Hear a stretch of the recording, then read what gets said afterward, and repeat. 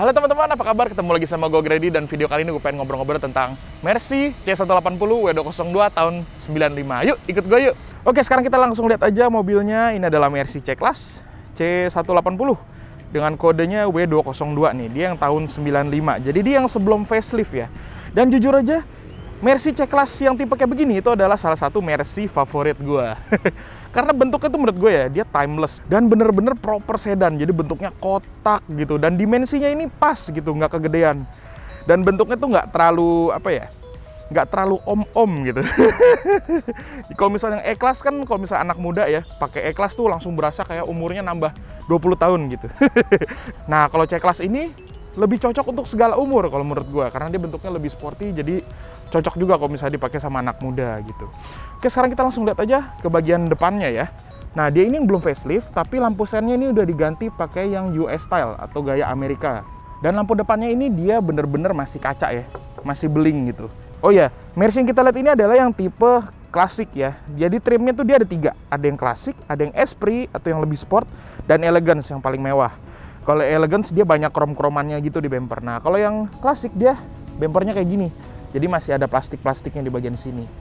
Dan ya, nggak ada elemen-elemen krom kecuali di grill. Dan kita lihat ke grillnya ini juga udah diganti nih. Aslinya bentuknya nggak kayak gini. Dan Carlson ini tuh dia tuning house-nya buat Mercy ya. Ini terkenalnya sebenarnya sama peleknya sih kalau Carlson ini. Dan di bagian sini ada emblem dan ini masih tegak nih, masih bagus. ini satu kebanggaan nih Oke, kira-kira bagian depannya seperti itu. Kita langsung lihat ke bagian sampingnya aja sekarang. Yuk. Oke, sekarang kita lihat ke bagian sampingnya. Gila, proper sedan banget ya. Kotak-kotak gitu, proporsinya bagus dan kita langsung lihat aja ke peleknya nih. Ini bagian yang paling gue suka dari mobil ini. Peleknya ini udah diganti pakai Carlson bantal kalau orang-orang bilang. Tapi kalau gue bilang ini uh, Carlson Odading ya. Odading Mang Carlson. Ini dia uh, ringnya 18 dan fitmentnya ini udah, udah dibikin pas banget tuh lihat. Rata sama bodinya. Pas banget gila keren banget. Dan dulu ini tahun 90-an ini adalah pelek yang keren banget lah buat dipakein ke Mercy dan memang cocok sih menurut gue ya. Dan pelek ini tuh dia bener-bener padet ya. Tuh nggak ada kopong-kopongnya sakit. Di sini dia pakai ban e, lebarnya 225 profilnya 40 dan ringnya 18 dan dia belang nih yang bagian belakang tuh dia lebih lebar. Kalau aslinya Mercy yang C-Class itu dia pakai e, peleknya kaleng dan dia pakai dop. Dopnya sih bentuknya mirip-mirip kayak begini ya, cuman dia kecil. Ring 15 dia. Ini harusnya ada emblem klasik di sini ya, tapi udah ditempel sama Carlson. Terus kita lihat lagi, dia nggak ada elemen chrome ya. Elemen chrome cuman ada di tipe elegance. Sampai ke handle pintunya juga kalau yang elegance dia ada chrome-nya di bagian atas gitu. Kalau ini juga dia belum sewarna body ya. Dan pintunya Mercy itu dia kalau kita buka ya, dia tuh bisa nahan gitu loh. Nih. Jadi bener-bener nahan. Tep gitu. Jadi kalau misalnya pintunya dibuka pas lagi turunan itu pintunya nggak mungkin nutup gitu. Tuh dia nahan. Dan tutupnya juga suaranya enak nih. Tuh. Bek gitu ya. Berasa nutup gitu. Dan ini bodinya bukan kaleng-kaleng. Kalau misalnya diketok tuh tuh padat banget suaranya. Dia tuh spionnya nggak bisa dilipat ya. Jadi cuma bisa nekuk-nekuk dikit kayak gini nih bagian belakangnya roda belakangnya ini kalau kalian lihat di sini gapnya kecil banget tuh ya gapnya sempit banget. Tapi kalau misalnya diisi sama orang, tiga orang gitu duduk di belakang, itu dia turun tapi jarang banget mentok sama spakboardnya bannya. Oke, sekarang kita langsung lihat ke bagian belakangnya. Yuk, bagian belakangnya kita lihat di sini dia bentuknya kotak-kotak juga dan lampunya ini dia menyatu sama bentuk bodinya ya. Jadi bentuknya segitiga gitu kalau kita lihat dari belakang kayak gini. Dan ini yang tipe pre facelift atau yang belum facelift, jadi dia di sini lampu sennya masih warna orange.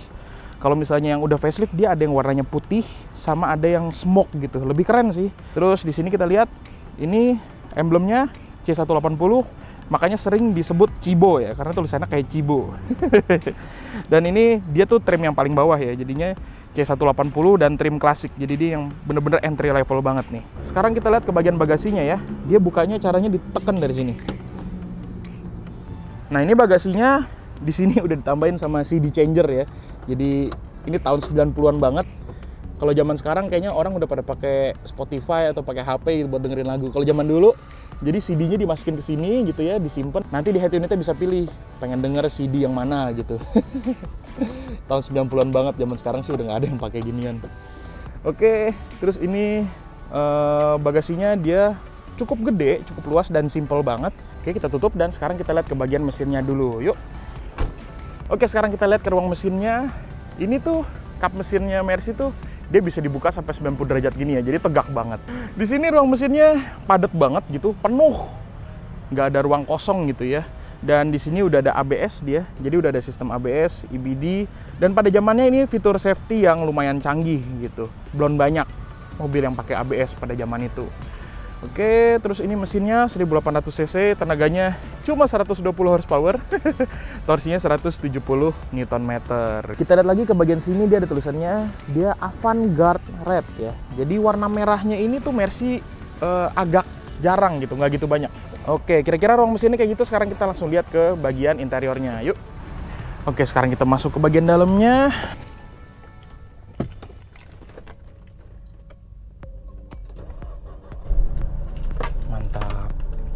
Oke, jadi kayak gini interiornya Mercy C180 W202.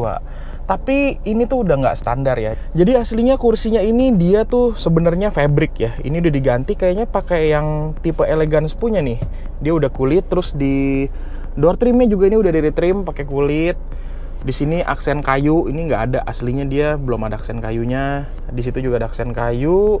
Tapi ini interiornya bener-bener kualitasnya dia bagus banget, apalagi pada zamannya ya. Ini semuanya soft touch di bagian atas ini soft touch sampai pintu-pintu ini soft touch semua ya. Sampai sini masih soft touch. Nah di bagian sini udah plastik nih. Dan kita lihat bagian setirnya ini dia udah diganti juga ya. Ini pakai yang kayu gini, aslinya nggak kayu kayak begini ya. Tapi dia udah ada airbagnya loh. Nah, tapi cuma satu sih, cuma buat pengemudi. Terus kita lihat ke bagian cluster instrumennya, ini dia nggak gitu kelihatan ya. Ini udah diganti juga. Dia pakai yang satuannya ada kilometer sama miles dan odometernya di dia udah miles. 96.000 miles itu kurang lebih 140.000 kilometer lah. Tapi dia di cluster instrumen ini dia cuma ada trip doang ya, infonya trip sama odo. Jadi kayak konsumsi bahan bakar gitu-gitu belum ada gitu. Padahal kalau gue nggak salah inget, di BMW ya BMW E36 itu kompetitornya dia udah ada tuh info-info kayak gitu. Terus sekarang kita lanjut lagi lihat ke bagian sini. Dia buat kunci pintu dia ada di bagian sini nih. Terus ada tombol hazard terus ini ada defogger dan di beberapa tipe Mercy yang C class itu dia di sini ada tombol buat e, ngerebahin headrest kursi belakang. Jadi kalau kita lihat di sini dia buat belakangnya belum ada headrest ya kalau yang udah ada headrestnya itu dia dipencet tombol sini nanti dia bisa ngelipat sendiri gitu Oke, terus kita lihat bagian sini buat pengaturan AC-nya dia temperaturnya udah dual zone kiri kanan. Di sini ada defogger lagi, terus ada EC. EC ini AC ya, jadi AC-nya kalau misalnya ini dimatiin jadi panas, dia angin doang jadinya. Kita nyalain lagi. Terus di bagian bawahnya dia ada res. Ini res ini kalau misalnya kita aktifin, pas mobilnya nanti kita tinggal, itu panas dari mesinnya dia masuk ke interior. Jadi buat hangetin uh, kabin ya mungkin nggak gitu kepake kalau misalnya kita di Jakarta. Terus di bagian bawahnya dia ada sirkulasi udara dan e, Mercy itu memang e, sirkulasi udaranya dia untuk aturan normalnya itu dari luar ke dalam ya. Dan sirkulasi udara dalamnya ini kalau bisa kita nyalain dia cuma nahan berapa lama abis itu dia mati lagi. Kita harus pencet lagi. Tapi memang mobil Eropa dia kebanyakan kayak gitu sih. Jadi kita lihat lagi ke bagian head unitnya. ini head unitnya udah diganti pakai Pioneer yang ini keren banget waktu tahun 90-an. Lihat ya. Pencet.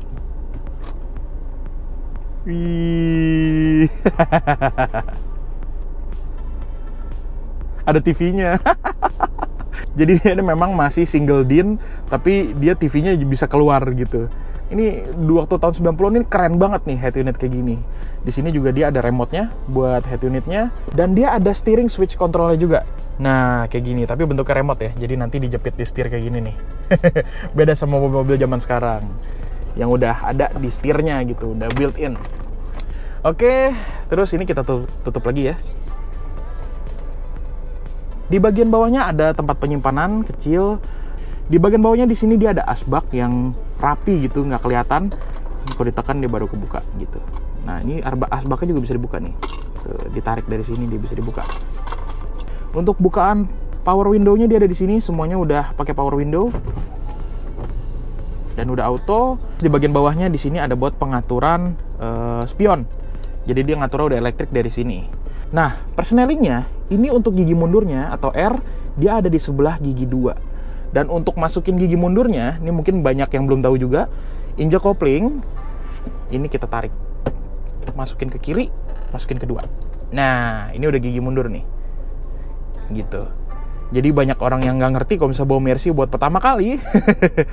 ini buat cara mundurnya kayak gitu ya. Jadi mesti ditarik dulu nih. Tuh bisa ditarik dia. Masukin gigi mundur. Oke, kayak gitu caranya. Ada yang unik juga nih ya. Untuk rem tangannya Mercy, uh, mungkin bukan rem tangan, parking brake. dia ada di sebelah kiri kopling di bagian sana. Ini udah aktif. Dan buat rilisnya itu bukan diinjak lagi, tapi di sini ada tuas. Nah, di sini. Ini kita injak rem dulu. Nah, gitu. Untuk nyalain lagi kita tinggal injak lagi. Nah, jadi kayak gitu ya buat rem tangannya Mercy. Tapi hati-hati, ini dia tuh bahannya plastik. Uh, dan ini kalau misalnya kalian kasar-kasar, ini bisa patah gitu. Jadi ini mesti hati-hati buat rilisnya ya, karena plastik kan lama-lama getas dia.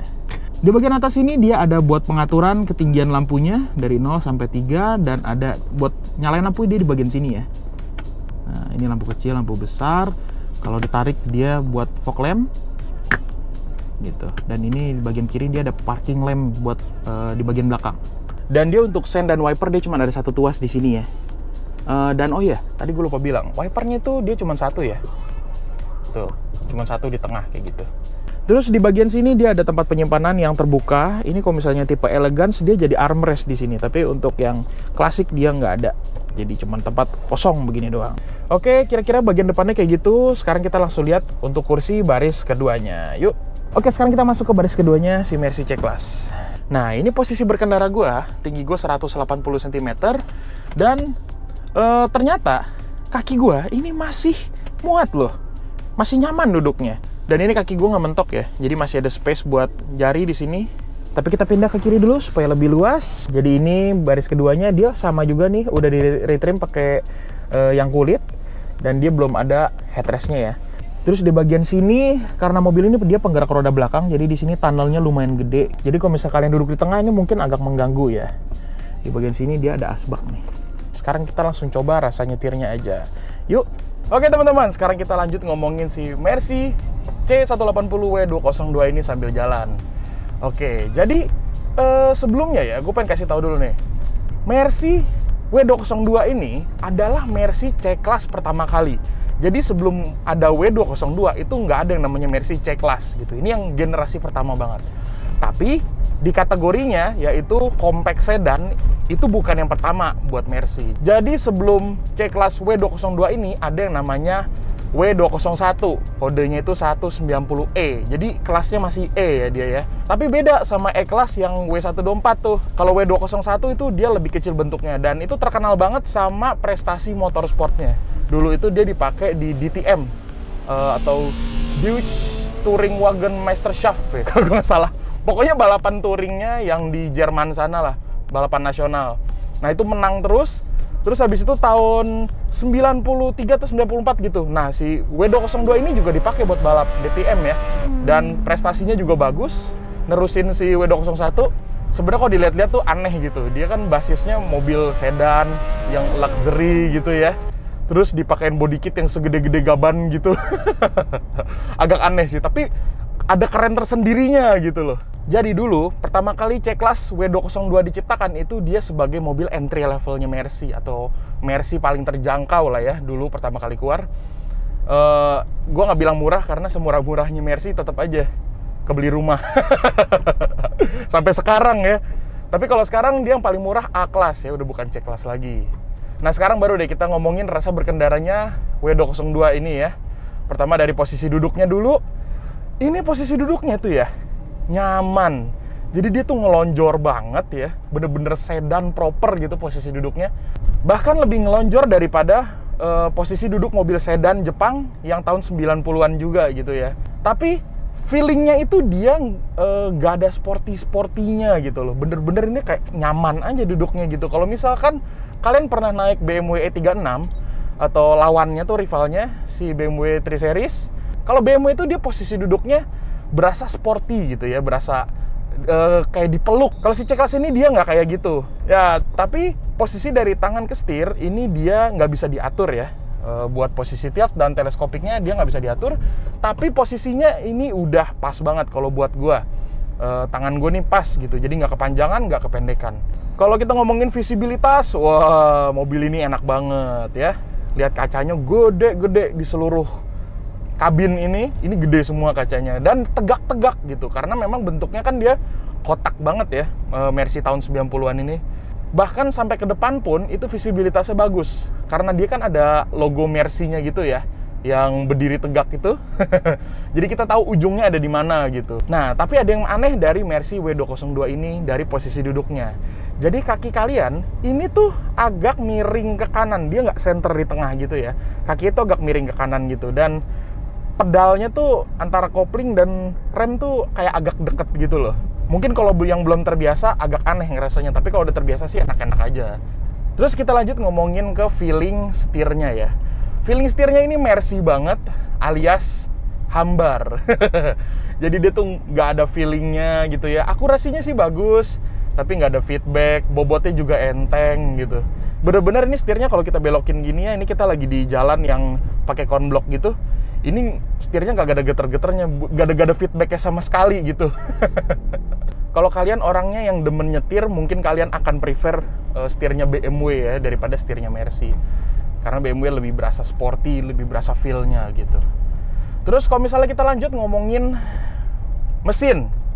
Mesinnya ini dia pakai mesin baru ya pada zamannya dia kodenya M111. Ini yang 1800 cc dan tenaganya itu cuma 120 HP dan torsinya 170 Nm. Ya kalau misalnya kita bandingin sih ya, itu tenaganya cuma beda 2 HP sama Mobilio. Tapi kalau misalnya diadu nih ya Mobilio sama Mercy ya gue sih pegang Mobilio banyak yang ngomong kalau Mercy yang C180 atau Cibo ini Mercy yang banci katanya tenaganya boyo katanya ya nih kalau misalnya kita coba tarik ya di depan